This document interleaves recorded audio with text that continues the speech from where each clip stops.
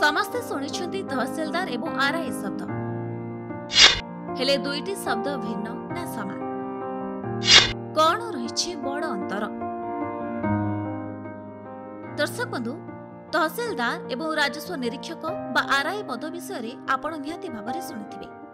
ଯେତେବେଳେ କୌଣସି ଜମି ବିବାଦ କିମ୍ବା ରାଜସ୍ୱ ସମ୍ବନ୍ଧୀୟ ବିଷୟ ଥାଏ ଲୋକେ ଦୁଇ ଅଧିକାରୀଙ୍କ ନିକଟକୁ ଯାଇ ଏହାର ସମାଧାନ କରନ୍ତି। ତହସିଲଦାରଙ୍କ ବିଷୟରେ କଥାବାର୍ତ୍ତା କରି ସେ ରାଜସ୍ୱ ବିଭାଗ ସହିତ ଜଡ଼ିତ ତହସିଲର ସମସ୍ତ ଦାୟିତ୍ୱ ରହିଥାଏ। ଆଉ ଯାହାର ସେ ପରିଚାଳନା କରନ୍ତି। ଯେଉଁଠାରେ ରାଜସ୍ୱ ଇନ୍ସପେକ୍ଟର ଯଥା ଆର୍ଆଇ ହେଉଛି ସେ ବ୍ୟକ୍ତି ଯେ କିଛି ସର୍କଲ ଯାଞ୍ଚ କରନ୍ତି। ଏ ଦୁଇଟି ଶବ୍ଦ ସମ୍ବନ୍ଧରେ ଲୋକମାନଙ୍କ ମଧ୍ୟରେ ପ୍ରାୟତଃ ଦ୍ୱନ୍ଦ୍ୱ ରହିଥାଏ କି ଉଭୟ ସମାନ କି ନୁହେଁ। କିନ୍ତୁ ଏହା ଆଦୌ ସେଭଳି ନୁହେଁ। ତେବେ ଆସନ୍ତେ ଦୁଇଟି ବିଷୟରେ ବିସ୍ତୃତ ଭାବରେ ଆମେ ଜାଣିବା। ଯେତେବେଳେ ବି ରାଜସ୍ୱ ସଂଗ୍ରହ ବିଷୟରେ କଥାବାର୍ତ୍ତା କରାଯାଏ ତହସିଲଦାରଙ୍କ ବିଷୟରେ କରାଯାଇଥାଏ ଉଲ୍ଲେଖ। ତହସିଲଦାର କିମ୍ବା କାର୍ଯ୍ୟନିର୍ବାହୀ ମାଜିଷ୍ଟ୍ରେଟ ଜଣେ ତହସିଲରେ ସର୍ବୋଚ୍ଚ ପ୍ରାଧିକରଣ ଅଟନ୍ତି।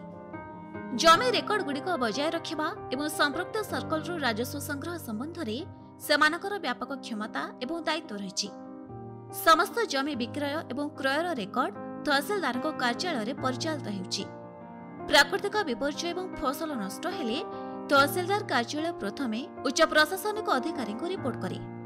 ଆଉ ସେହି ଅଞ୍ଚଳକୁ ଖାଦ୍ୟଶସ୍ୟ ଆଉ ମଞ୍ଜି ଯୋଗାଣକୁ ମଧ୍ୟ ସୁନିଶ୍ଚିତ କରନ୍ତି। ତହସିଲଦାର ମଧ୍ୟ ତାଙ୍କ ଅଧୀନରେ ଥିବା ଆଇନ ଶୃଙ୍ଖଳା ରକ୍ଷା କରିବାରେ ସାହାଯ୍ୟ କରିଥାଏ। ତେବେ ରାଜସ୍ୱ ନିରୀକ୍ଷକ ବା ଆର୍ଆଇଙ୍କର କ୍ଷମତା କ'ଣ? ତହସିଲଦାରଙ୍କ ପରେ ରାଜସ୍ୱ ନିରୀକ୍ଷକ ହେଉଛନ୍ତି ପରବର୍ତ୍ତୀ ଅଧିକାରୀ। ସେ ତହସିଲ ବିଭାଗର ଏକ ଗୋଷ୍ଠୀ ଦାୟିତ୍ୱରେ ରହିଥାନ୍ତି।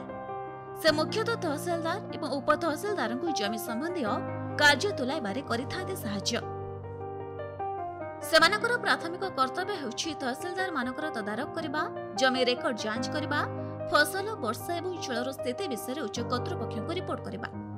ଏଥିମଧ୍ୟରେ ଜମି ମାପ ସର୍ବେକ୍ଷଣ କୁଆପଥର କିମ୍ବା ବିପର୍ଯ୍ୟୟ ଦ୍ୱାରା ହୋଇଥିବା କ୍ଷୟକ୍ଷତିର ରିପୋର୍ଟ ଅଣକୃଷି ବ୍ୟବହାର ପାଇଁ କୃଷି ଜମିର ବିବିଧତା ମାମଲା ରିପୋର୍ଟ କରିବା ଏନକାଉଣ୍ଟର ମାମଲାରେ ପରିବର୍ତ୍ତନକୁ ପ୍ରମାଣ କରିବା ଏବଂ ସୀମା ଚିହ୍ନ ଯାଞ୍ଚ ପଞ୍ଜୀକରଣ ଇତ୍ୟାଦି ଅନ୍ତର୍ଭୁକ୍ତ ରହିଛି ତାହେଲେ ତହସିଲଦାର ଏବଂ ରାଜସ୍ୱ ନିରୀକ୍ଷକଙ୍କ ମଧ୍ୟରେ କ'ଣ ରହିଛି ବଡ଼ ପାର୍ଥକ୍ୟ ଉଭୟ ତହସିଲଦାର ଏବଂ ରାଜସ୍ୱ ନିରୀକ୍ଷକ ହେଉଛନ୍ତି ସରକାରୀ ଅଧିକାରୀ ଯେଉଁମାନେ ଜମି ରେକର୍ଡ ପରିଚାଳନା ଏବଂ ରାଜସ୍ୱ ସଂଗ୍ରହ ପାଇଁ ଦାୟୀ ଅଟନ୍ତି ତହସିଲଦାର ଜଣେ ପ୍ରଶାସନିକ ଅଧିକାରୀ ଏହା ଏକ ନିର୍ଦ୍ଦିଷ୍ଟ ତହସିଲ ବା ପ୍ରଶାସନ ବିଭାଗରେ ରାଜସ୍ୱ ନିରୀକ୍ଷକ ଏବଂ ଅନ୍ୟ ଅଧିକାରୀଙ୍କ କାର୍ଯ୍ୟର ତଦାରଖ କରନ୍ତି।